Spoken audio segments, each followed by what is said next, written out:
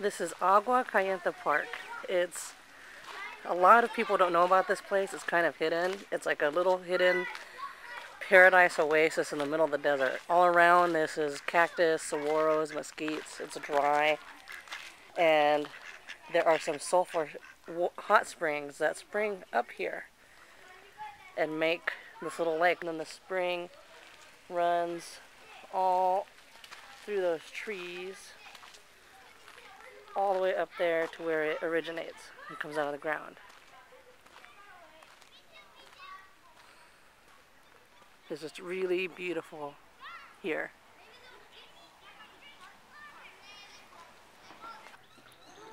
You are so handsome.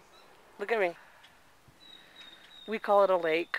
I think a lot of you would just call it a pond.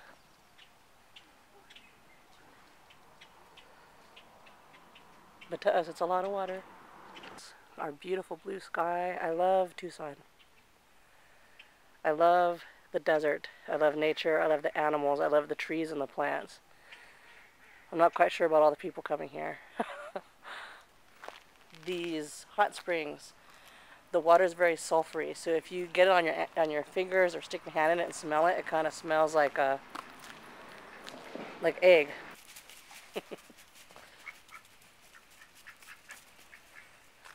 Supposedly the sulfur in the water is supposed to be very healing. I haven't stuck it on more than a finger.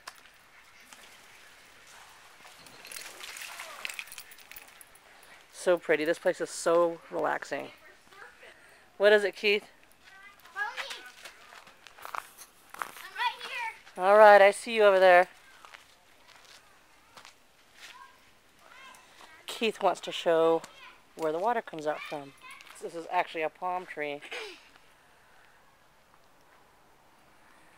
My said not to I bet go just in people there. just sitting on there for years looking at the water.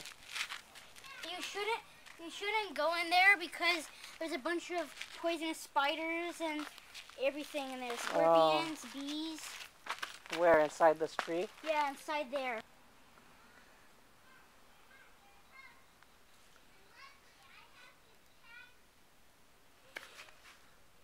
It's hard to imagine kids. how old this spring is. I'm gonna go see what they're doing. They have this mesquite tree within this wall. It's a pretty old tree. It's also looking pretty dry, but it still has um, leaves. I'll show you what the leaves look like. Like that. The mesquite tree is really well adapted for living in the desert. It has these little tiny leaves, and what they do is, um, well, most leaves have little holes on them where they breathe through. And um, trees with big leaves with holes on them when the sun hits them here in the desert they lose too much water. These guys still have um, pores on them but like if the sun's coming from this way see the leaves face like that. Instead of putting their whole leaf to the sun they go sideways so that each both sides aren't directly in the sun and so a lot of the native plants here are like that. They're these small little leaves that will try to avoid the sun. So anyway, I'm going to kind of jog down the little path to the other lake, see if there's any water in the other lakes. And then come back and that'll be the running for the for today. Yesterday I did deadlifts, but I just did it with the pole, with half of the barbell pole. That, so that was six pounds, not very much, but um, I already see now my form is horrible. I really have to work on that. And then today is um, press pushes. Tomorrow is just plain running. And then, I hold it. hold on, sweetie.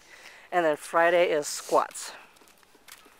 And then that's um, the plan for this week. But I have the typical type 2 body shape, which is if I go to the side, then you see my big belly fat. And this is the main thing I'm trying to get rid of to try to um, get a hold of the diabetes.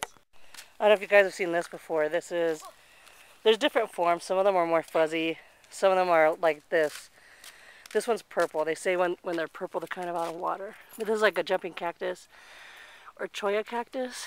And these guys, the cholla buds, are yummy. It's hard to believe that probably was like nice and lush and green like it was over there.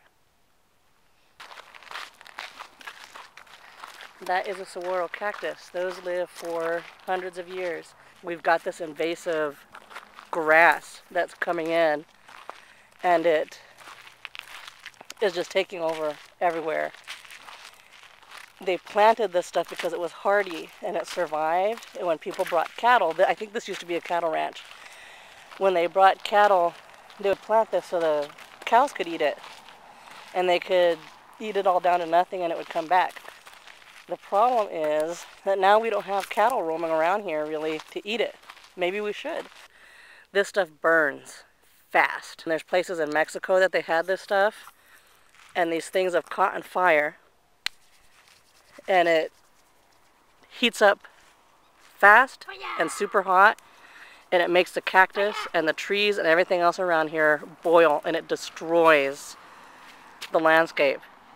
And so there's places in Mexico, it looks like the Saharan desert. It's just dirt. It used to be like this with cactus and trees, but this stuff caught on fire and it um, just sterilized it. And someday may happen here and we won't have this beautiful desert anymore.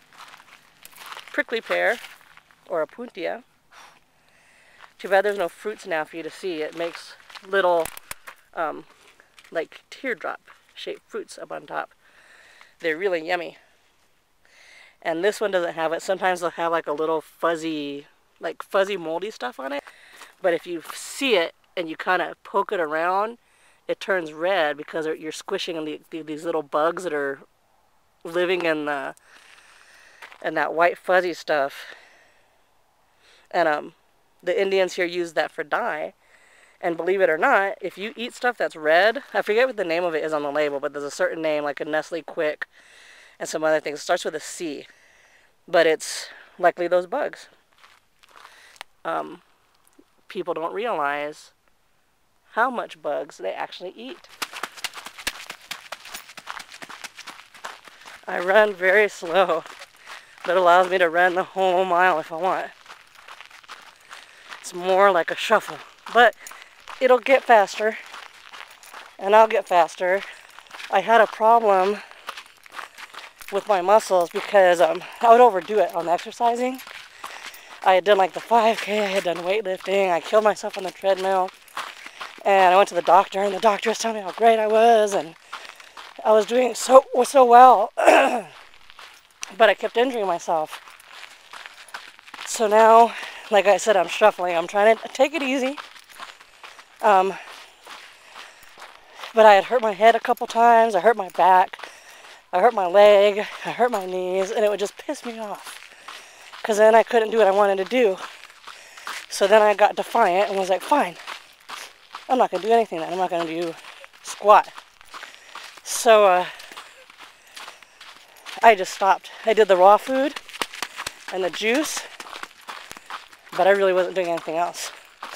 And it made a big difference because then when I went to the doctor and they did my blood test, he said my creatinine levels were low, which he thinks it meant my muscles had just wasted away. And I thought that made sense because before people would always tell me how strong I was because I can lug in like the five gallon bottles of water and carry big loads in. And then it got to where I couldn't even carry those things anymore. It was too heavy and I was weak. I felt weak. So that's another reason why I'm taking it extra careful to begin with and try not to overdo it. Try to do something I can live with that has options I can live with. I think we're back in the park. Yeah, we're getting there. Because when I get hurt, I get discouraged. But I know I can't be weak like that anymore. It makes me pissed. I want to be able to kick someone's ass if I want. So I'm trying to get stronger. That's another reason I'm looking at CrossFit. Because um, I just want to get functionally stronger. And I, when I stopped exercising, I didn't want to do anything. I couldn't stand the way I felt. I didn't want to do anything. I didn't even want to walk down the street. My legs were weak. And now that's a lot better. I'm getting back to where I was before.